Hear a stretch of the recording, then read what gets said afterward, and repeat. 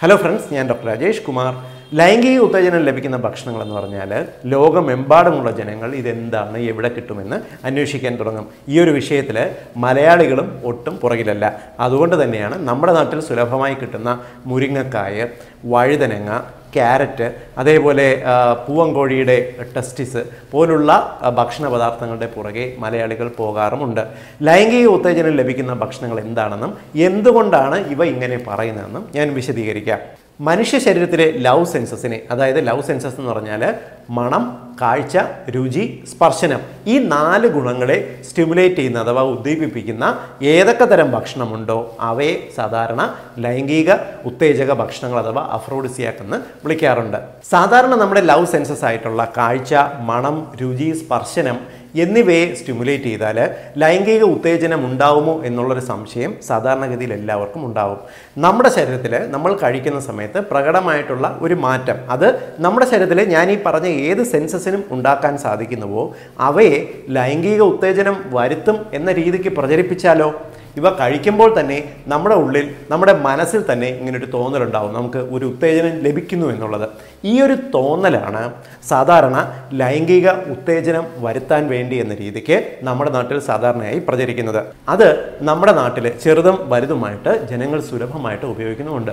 വളരെ കോമൺ ആയിട്ട് അവൈലബിൾ ആയിട്ടുള്ള മുരിങ്ങക്കായോ ഈന്തപ്പഴമോ ഇല്ലെങ്കിൽ ആപ്പിൾ പിയർ പോലുള്ള വസ്തുക്കളോ വെണ്ടയ്ക്ക വഴുതനങ്ങ പോലുള്ള പച്ചക്കറികളോ തുടങ്ങിയിട്ട് വിലയേറിയ വസ്തുക്കൾ കുങ്കുമപ്പൂവ് ഒട്ടകത്തിന്റെ പാൽ അതേപോലെ ജിൻസെങ് യോഹിബിനം പോലുള്ള വിലയേറിയ വസ്തുക്കളോ എല്ലാം തന്നെ നമ്മുടെ നാട്ടിൽ ഇന്ന് ലൈംഗിക ഉത്തേജനം ലഭിക്കും എന്ന പേരിൽ ഉപയോഗിച്ച് വരുന്നുണ്ട് സാധാരണ രീതിയിൽ നമ്മുടെ നാട്ടിൽ കിട്ടുന്ന ലൈംഗിക ഉത്തേജകം ലഭിക്കുന്ന ഭക്ഷണങ്ങളെ നമുക്ക് അഞ്ച് കാറ്റഗറിയിൽ ഉൾപ്പെടുത്താം ഒന്നാമത്തെ കാറ്റഗറി എന്ന് പറയുന്നത് നമ്മുടെ ശരീരത്തിൽ ചൂട് വർദ്ധിപ്പിക്കുന്ന അഥവാ എനർജി ഉൽപ്പാദിപ്പിക്കുന്ന ചില ഇനം ഭക്ഷണങ്ങളെ അവർ ലൈംഗിക ഉത്തേജകം എന്ന രീതിക്ക് ഉപയോഗിക്കാറുണ്ട് ഉദാഹരണം പറഞ്ഞാൽ തണുപ്പ് രാജ്യങ്ങളിൽ എരിവ് കൂടുതലുള്ള മുളക് ഐറ്റംസ് ഗ്രാമ്പു കുരുമുളക് പോലുള്ളവ അഫ്രോഡിസിയാക്കായിട്ട് ഉപയോഗിച്ച് വരുന്നുണ്ട്. ഇതിന്റെ കാരണം എന്ന് പറയുന്നത് ഇതിനകത്ത് അടങ്ങിയിട്ടുള്ള കാപ്സിസിൻ എന്ന് പറയുന്ന ഒരു രാസവസ്തു. സാധാരണ നമ്മളെല്ലാം എരിവ് കൂടിയ ഭക്ഷണങ്ങൾ കഴിക്കുമ്പോൾ നമുക്ക് നമ്മൾ വല്ലാണ്ട് വേർക്കത്തില്ലേ നമുക്കൊരു ഉഷ്ണം ഫീൽ ചെയ്യത്തില്ലേ? ഇതിന് കാരണം ഇതിനകത്ത് അടങ്ങിയിട്ടുള്ള കാപ്സിസിൻ എന്ന് പറയുന്ന രാസവസ്തു നമ്മുടെ ശരീരത്തിൽ പോയിട്ട് കൂടുതൽ ഊർജം ഉൽപ്പാദിപ്പിക്കുന്നു. നമ്മുടെ ശരീരത്തിൽ ചൂട് കൂടാനായിട്ട് കാരണമാകുന്നു. തണുപ്പ് രാജ്യങ്ങളിൽ നമ്മൾ വളരെ കോൾഡായിട്ടിരിക്കുന്ന സമയത്ത് ഇത്തരത്തിലുള്ള ഭക്ഷണങ്ങൾ കഴിക്കുന്നത് അവർക്ക് അവരുടെ ശരീരത്തിൽ ചൂട് വർദ്ധിക്കുകയും അവർക്ക് ഒരു ഉന്മേഷം ലഭിക്കുകയും ലൈംഗിക ഉത്തേജനം ലഭിക്കുന്നു എന്ന് അവർ വിശ്വസിക്കുകയും ചെയ്യുന്നു. ഇനി രണ്ടാമത്തെ കാറ്റഗറി എന്ന് പറയുന്നത് പുരുഷന്റെയും സ്ത്രീയുടെയും ലൈംഗിക അവയവത്തോട് കാഴ്ചയ്ക്ക് ഒരു സാമ്യം തോന്നുന്ന ചില ഭക്ഷണ പദാർത്ഥങ്ങളെ ലൈംഗിക ഉത്തേജനം ലഭിക്കും എന്ന രീതിക്ക് ഉപയോഗിച്ച് വരുന്നുണ്ട്. ഓയ്സ്റ്ററിലെ ചിപ്പി നമ്മുടെ നാട്ടിൽ സുലഭമായി ലഭിക്കുന്ന കക്ക. ഇവയ്ക്ക് സ്ത്രീ ലൈംഗിക അവയവുമായി കാഴ്ചയ്ക്ക് സിമിലാരിറ്റി ഉണ്ടെന്ന് പറഞ്ഞിട്ട് ലോകത്തിന്റെ പല ഭാഗങ്ങളിലും ലൈംഗിക ഉത്തേജനത്തിനായിട്ട് ഉപയോഗിക്കാറുണ്ട്. കൂടാതെ വെണ്ടയ്ക്ക വഴുതനങ്ങ ക്യാരറ്റ് പോലുള്ള ഭക്ഷണ പദാർത്ഥങ്ങൾ വളരെ കോമൺ ആയിട്ട് ലൈംഗിക ഉത്തേജനം ലഭിക്കും എന്ന രീതിക്കും പല സ്ഥലങ്ങളിലും ഉപയോഗിച്ച് വരുന്നുണ്ട്. കൂടാതെ അവക്കാഡോ എന്ന് പറയുന്ന ഫ്രൂട്ട് നിങ്ങൾക്കറിയാം അതിന്റെ ഒരു പിയർ ഷേപ്പിലുള്ള ഫ്രൂട്ടാണ് ഇതിന് സ്ത്രീയുടെ യൂട്രസുമായിട്ട് കാഴ്ചയ്ക്ക് ഒരു സിമിലാരിറ്റി ഉണ്ടെന്നതിന്റെ പേരിൽ ലോകമെമ്പാടും സ്ത്രീകൾക്ക് ലൈംഗിക ഉത്തേജനത്തിന് നല്ലതാണ് എന്ന രീതിക്ക് ഉപയോഗിച്ച് വരാറുണ്ട്. ഇനി മൂന്നാമത്തെ കാറ്റഗറി മറ്റു ജീവികളുടെ ലൈംഗിക അവയവങ്ങളെ കറിവെച്ച് കഴിക്കുന്നത് നമ്മുടെ ശരീരത്തിൽ ലൈംഗിക ഉത്തേജനം ലഭിക്കും എന്ന് വിശ്വസിക്കുന്നത് ഒരുപാട് പേരുണ്ട്. ഇത് ലോകമെമ്പാടും ഉള്ളതുപോലെ തന്നെ നമ്മുടെ കേരളത്തിലും ധാരാളമായിട്ടുണ്ട്. കാളകളുടെയും ആടിന്റെയും വൃഷ്ണങ്ങൾ ആൺകോഴിയുടെ പ്രശ്നങ്ങൾ ഇവ കറിവെച്ച് കഴിക്കുന്ന ഒരുപാട് പുരുഷന്മാർ നമ്മുടെ നാട്ടിലുണ്ട്. ഇവയ്ക്ക് മറ്റു ഇറച്ചി വർഗങ്ങളെ അപേക്ഷിച്ച് വില വളരെ കൂടുതലാണ് താനും. മാത്രമല്ല ചിലയിനം പക്ഷികളുടെ മുട്ടകളോ അല്ലെങ്കിൽ മീനിന്റെ മുട്ടകളോ എല്ലാം തന്നെ ലൈംഗിക ക്ഷമത വർദ്ധിപ്പിക്കും എന്ന പേരിൽ വാങ്ങിച്ച് കറിവെച്ച് കഴിക്കുന്ന ഒരുപാട് പേര് നമ്മുടെ നാട്ടിലുണ്ട്. ഇനി നാലാമത്തെ കാറ്റഗറി എന്ന് പറയുന്നത് ലൈംഗിക ഉത്തേജനത്തിന് ഉപകാരപ്പെടും എന്ന രീതിക്ക് വൻതോതിൽ പ്രചരിപ്പിച്ച് വിറ്റഴിക്കപ്പെടുന്ന ചില ഇനം ഭക്ഷണ പദാർത്ഥങ്ങളുണ്ട്. ഉദാഹരണത്തിന് ജിൻസങ് എന്ന് പറയുന്ന ഒരിനം ചെടിയുണ്ട്. അതായത് അവയുടെ പൂവിന് സ്ത്രീ ശരീരവുമായിട്ട് ചെറിയൊരു സാമ്യതയുണ്ട്. മാത്രമല്ല യോഹിബിയം എന്ന് വിളിക്കപ്പെടുന്ന ആഫ്രിക്കയിൽ കാണപ്പെടുന്ന ഒരു ചെടിയുണ്ട്. ഇതിനും ഈ പറഞ്ഞ പോലുള്ള ഒരു ലൈംഗിക ഉത്തേജകം ലഭിക്കുമെന്ന രീതിക്കുള്ള പ്രചരണമുണ്ട്. മാത്രമല്ല കുങ്കുമപ്പൂ. നിങ്ങൾക്കറിയാം നമ്മുടെ നാട്ടിൽ ഗർഭിണികൾക്കെല്ലാം സാധാരണ കൊടുക്കാറുണ്ട്.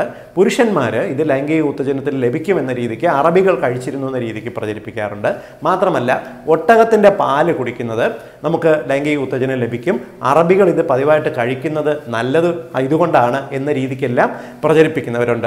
ഇതിന്റെ എല്ലാം പുറകിലുള്ളത് ശുദ്ധമായിട്ടുള്ള കച്ചവടം തന്നെയാണ്. കാരണം ഇവയുടെയൊക്കെ വില നിങ്ങളൊന്ന് അന്വേഷിച്ച് നോക്കിയാൽ ഉയർന്ന വിലയായിരിക്കും. ഇത്തരത്തിൽ കച്ചവട താല്പര്യത്തോടു കൂടി നമ്മുടെ നാട്ടിൽ പ്രചരിപ്പിക്കപ്പെടുന്ന ചില ഭക്ഷണങ്ങൾ.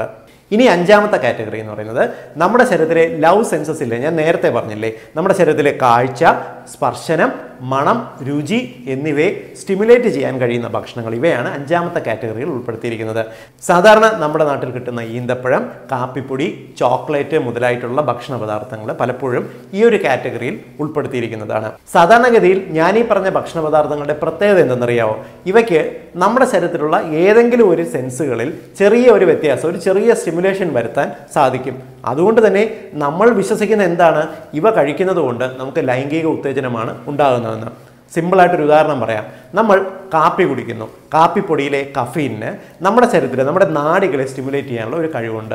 നമ്മൾ സാധാരണ ഒരു ലൈംഗിക ഉത്തേജനത്തിന് വേണ്ടിയിട്ട് കാപ്പിപ്പൊടി കഴിക്കുമ്പോൾ ഇവ നമ്മുടെ ശരീരത്തിൽ ഉണ്ടാക്കുന്ന ഉന്മേഷം നമ്മുടെ കണ്ണുകൾക്ക് കാഴ്ചശക്തി ഒന്ന് വർദ്ധിക്കുന്ന പോലെ തോന്നും. നമുക്ക് മൊത്തത്തിലൊരു ഉന്മേഷം ഫീൽ ചെയ്യും നമ്മുടെ നെഞ്ചെടുപ്പ് ഒരു അല്പം വർദ്ധിപ്പിക്കും. ഇവ നമ്മുടെ ശരീരത്തിനകത്ത് ഊർജം ഉണ്ടാക്കുന്നതിന്റെ ഒരു വ്യത്യാസമാണിത്. ഇത്തരത്തിൽ കഫീൻ കഴിച്ചിട്ടുണ്ടാകുന്ന ഈ ഒരു വ്യത്യാസം ലൈംഗിക ഉത്തേജനമാണെന്ന് നമ്മൾ വിശ്വസിക്കുന്നതുകൊണ്ട് കാപ്പിപ്പൊടി ഒരു ലൈംഗിക ഉത്തേജക വസ്തു എന്ന രീതിക്ക് നമ്മൾ ഉപയോഗിക്കുന്നു. ഇനി ചോക്ലേറ്റിന്റെ കാര്യം നോക്കാം. ചോക്ലേറ്റിനകത്ത് ഫീനൈൽ ഇതയിൽ അമീൻ എന്ന് പറയുന്ന ഒരു രാസവസ്തു അടങ്ങിയിട്ടുണ്ട്. ഇത് നമ്മുടെ ശരീരത്തിൽ ഒരു നെർവസ് സ്റ്റിമുലന്റ് ആണ്. പ്രത്യേകിച്ച് സ്ത്രീകൾക്ക് അമിതമായിട്ടുള്ള ടെൻഷനും മറ്റു പ്രശ്നങ്ങളും ഉണ്ടാകുമ്പോൾ ഇവർക്ക് ടെൻഷൻ കുറയ്ക്കാനായിട്ട് ശരീരത്തിനെ ഒന്ന് റിലാക്സ് ചെയ്യിക്കാനായിട്ട് ഈ ഫീനൈൽ ഇതയിൽ അമീൻ ഉപയോഗിക്കാൻ സാധിക്കും. അതുകൊണ്ടാണ് പലപ്പോഴും സ്ത്രീകൾ അമിതമായിട്ടുള്ള ഒരു ടെൻഷൻ എല്ലാം ഓവർകം ചെയ്യാൻ വേണ്ടിയിട്ട് ചോക്ലേറ്റ് ഇടയ്ക്ക് കഴിക്കുന്നത്. ഇതിലെ ഫീനൈൽ ഇതയിൽ അമീനിന് നമ്മുടെ നാടികളെ ഒന്ന് റിലാക്സ് ചെയ്യിക്കാൻ കഴിവുള്ളത് കൊണ്ടും ഇവ ഒരു ലൈംഗിക ഉത്തേജനമാണ് എന്ന് വിശ്വസിച്ചു പോരുന്നു. എന്നാൽ ഇതിനകത്തുള്ള ഒരു രസകരമായ ഒരു വസ്തുത എന്തെന്ന് പറഞ്ഞാൽ ചോക്ലേറ്റിനകത്തുള്ള ഫീനൈൽ ഇതയിൽ അമീനെ വളരെ ചെറിയ ശതമാനം അതായത് ഒരു മൂന്ന് മുതൽ അഞ്ച് ശതമാനം മാത്രമേ നമ്മുടെ ശരീരത്തിന് വലിച്ചെടുക്കാനും ഉപയോഗിക്കാനും സാധിക്കത്തുള്ളൂ. എങ്കിലും ആൾക്കാർ നൂറ്റാണ്ടുകളായിട്ട് ചോക്ലേറ്റ് കഴിച്ചാൽ റിലാക്സേഷൻ കിട്ടുമെന്നും ലൈംഗിക ഉത്തേജനം ലഭിക്കുമെന്നും വിശ്വസിച്ചു പോരുന്നുണ്ട്. അതേപോലെ തന്നെ ഈ കാറ്റഗറിയിൽ വരുന്ന ചില ഇനം ഭക്ഷണങ്ങൾ ഉദാഹരണത്തിന് കക്ക അഥവാ ചിപ്പി ഓയിസ്റ്റേഴ്സ് ഓയിസ്റ്റേഴ്സിന്റെ ഈ കക്ക ഇറച്ചി കഴിക്കുന്നത് ലൈംഗിക ഉത്തേജനം നേരിട്ട് തരത്തില്ല. പക്ഷേ പകരം ഇതെന്താ ചെയ്യുന്നത് ഇതിനകത്ത് അടങ്ങിയിട്ടുള്ള സെലീനിയം സിങ്ക് പോലുള്ള വളരെ ഉയർന്ന അളവിൽ അടങ്ങിയിട്ടുള്ള മിനറൽസ് നമ്മുടെ ശരീരത്തിൽ നമ്മുടെ തലച്ചോറിനെയും നമ്മുടെ നെർവ്സിനെയും നന്നായിട്ട് സ്റ്റിമുലേറ്റ് ചെയ്യുന്നു. നേരിട്ടല്ലെങ്കിൽ പോലും ഇവ നമ്മുടെ ശരീരത്തിൽ ഒരു ഗുണകരമായിട്ടുള്ള ചേഞ്ചസ് വർദ്ധിപ്പിക്കുകയും നമുക്ക് ഗ്രാജുവലി ആണെങ്കിൽ പോലും ഒരു ന്യൂട്രീഷൻ ലെവലിൽ ശരീരത്തിലെ പ്രത്യുൽപാദന ശേഷിയെ ഗുണപ്പെടുത്തുകയും ചെയ്യുന്നു. ഇനി വെണ്ടയ്ക്കയുടെ കാര്യം നോക്കിയാലോ വെണ്ടയ്ക്ക അതിന്റെ രൂപം കൊണ്ടും ഇതിനകത്ത് അടങ്ങിയിട്ടുള്ള ആ ഒരു സ്ലൈമി നേച്ചർ കൊണ്ടുമാണ് പുരുഷന് അവന്റെ സെമന്റെ അളവ് വർദ്ധിപ്പിക്കാനെല്ലാം നല്ലത് എന്ന് പറയുന്നത്. എന്നാൽ സത്യാവസ്ഥ അതല്ല. വെണ്ടയ്ക്കകത്ത് ഉയർന്ന അളവിൽ അടങ്ങിയിട്ടുള്ള മെഗ്നീഷ്യവും അതിനകത്ത് അടങ്ങിയിട്ടുള്ള മറ്റു മിനറലുകളും നമ്മുടെ ശരീരത്തിൽ പ്രത്യേകിച്ച് നമ്മുടെ നെർവ്സിനെ ഒന്ന് സ്റ്റിമുലേറ്റ് ചെയ്യുന്നു. നമുക്ക് ഉന്മേഷം കൂടുതൽ തരാനായിട്ട് ഉപകരിക്കുന്നു. ഓട്ടോമാറ്റിക്കലി ഈ വെണ്ടയ്ക്ക കഴിക്കുന്ന ആൾക്കാർക്ക് സാധാരണഗതിയിലും കൂടുതലായിട്ട് ഒരു ഉന്മേഷവും മറ്റു ഗുണങ്ങളും ലഭിക്കുകയും ഒരുപക്ഷെ അതിനെ ലൈംഗിക ഉത്തേജകം എന്ന് ആൾക്കാർ തെറ്റിദ്ധരിച്ച് ഇവ ഉപയോഗിക്കുകയും ചെയ്യുന്നു. ഞാനിവിടെ വിശദീകരിച്ചതിൽ നിന്നും നിങ്ങൾക്ക് ഒരു കാര്യം മനസ്സിലായിട്ടുണ്ടാവാം. ഇന്നുവരെ ഭൂമിയിൽ ലഭ്യമായിട്ടുള്ള ഒരു ഭക്ഷണങ്ങൾക്കും പുരുഷന്റെയും സ്ത്രീയുടെയും ലൈംഗിക അവയവത്തിനോ ലൈംഗിക ഹോർമോണുകളുടെയും മേലെ നേരിട്ട് ഒരു ആക്ഷനും ഇല്ല എന്നുള്ളതാണ് കണ്ടെത്തിയിട്ടുള്ളത്. അതുകൊണ്ട് തന്നെ ഇന്ന് നമ്മുടെ സമൂഹത്തിൽ കിട്ടുന്ന പരസ്യത്തിൽ കാണുന്ന ലൈംഗിക വർധക ഭക്ഷണങ്ങൾ എന്നുള്ളവയിൽ വിശ്വസിച്ച് നിങ്ങൾ നിങ്ങളുടെ സമയവും ധനവും പാഴാക്കാതിരിക്കുക എന്നുള്ള സത്യം നിങ്ങൾ മനസ്സിലാക്കിയിരിക്കുക. ഈ ഇൻഫർമേഷൻ നിങ്ങൾ എല്ലാ സുഹൃത്തുക്കളുടെയും അറിവിലേക്കായിട്ട് ഷെയർ ചെയ്യുക. കാരണം ഇന്ന് ചെറുപ്പക്കാരും ഒരു പ്രായം കഴിഞ്ഞ പ്രത്യേകിച്ച് നാൽപ്പത് വയസ്സ് കഴിഞ്ഞ പുരുഷന്മാരും വളരെ കോമൺ ആയിട്ട് ലൈംഗിക ഉത്തേജനം ലഭിക്കുന്ന ഭക്ഷണങ്ങളുടെ പുറകെ പോകുന്നത് വളരെ കോമൺ ആണ്. പലപ്പോഴും ഇരുചെവി അറിയാതെ ധാരാളം ധനം നഷ്ടപ്പെട്ടവരും ഒരുപക്ഷെ നമ്മുടെ സമൂഹത്തിൽ ഉണ്ടായിരിക്കും. ഈ ഇൻഫർമേഷൻ എല്ലാ സുഹൃത്തുക്കളുടെയും അറിവിലേക്കായിട്ട് നിങ്ങൾ ഷെയർ ചെയ്യുക. വീണ്ടും മറ്റൊരവസരത്തിൽ മറ്റൊരു വിഷയമായി കണ്ടുമുട്ടാം. ബൈ